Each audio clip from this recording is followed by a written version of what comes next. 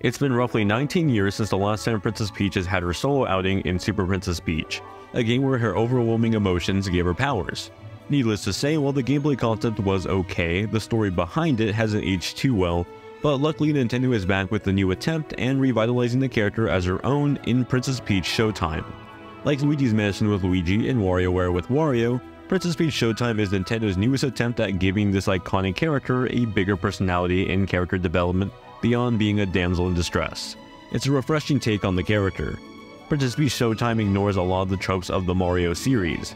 You're not in the Mushroom Kingdom this time, and outside of Peach and some Toads, the rest of the cast are original characters. Showtime's story begins with Princess Peach attending the Sparkle Theater. It's a showroom where its inhabitants throw various types of plays together under one roof.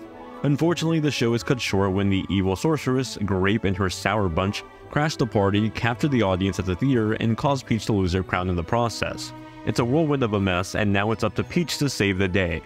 She's not alone though, shortly after the commotion she finds and befriends Stella, the Sparkle Theater's guardian who wants to help.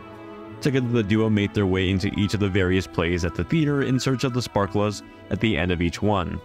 While the new characters are a bit shallow, I enjoyed the new story and approach to Princess Peach. A lot of the writing here gives her more personality and growth beyond just being a princess, she's a hero. It made me more excited to experience what else she was capable of, and ultimately I think Showtime does that extraordinarily well. The structure of the game is split up between plays across various floors for a total of 16 plays. In addition, Peach has her own transformations that help her navigate the plays. While she may be a princess at heart, depending on the play she enters, she'll transform entirely both in costume and abilities. Having levels take place in plays is a lovely idea that gives the overall design and atmosphere of each level a unique feeling from other Nintendo games. It gives Showtime this charm that left me smiling anytime the show floor would 180 into a brand new stage. It exudes this childlike wonder that's reminiscent of Kirby's Epic Yarn in Yoshi's Woolly World. Throughout the 8 hour playthrough, you'll come across 10 different Peach transformations, each with their own powers and abilities that flesh out a bit more of the combat and traversal. Each costume also has its own story told across three acts, new sets, and music. That is yet to mention the remarkable costume design that flawlessly showcases Peach's attitude. Each of the costumes also introduced their own gameplay style. Detective Peach solves mysteries, Ninja Peach acts as a fun stealth game, and Cowboy Peach is a fun sort of action hack and slash.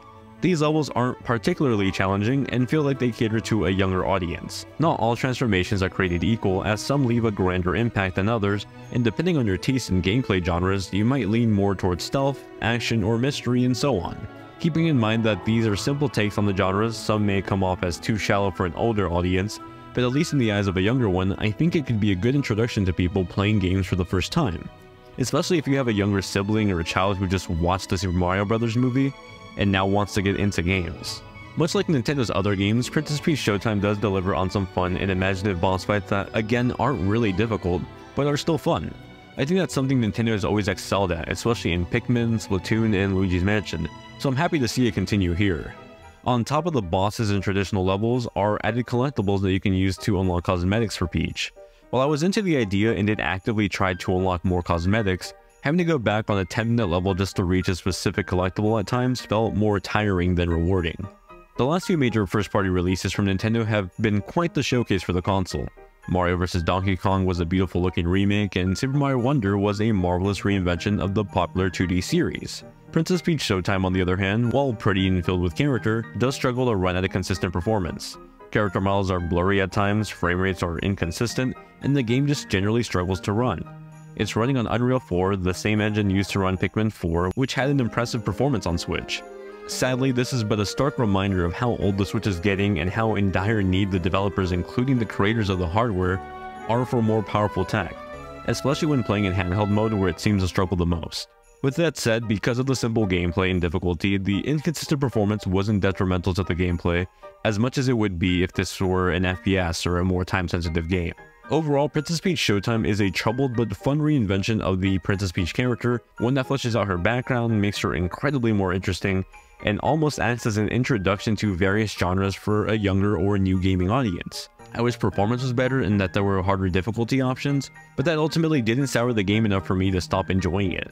While I personally didn't gravitate towards replaying it, incentives like new costumes and collectibles give added replay value for anyone looking to 100% it. If you enjoyed the Kirby series for example, despite it being easy, I think you'll get a lot of joy out of this game, even at older ages. while the younger crowd is bound to enjoy the imaginative new take on Peach.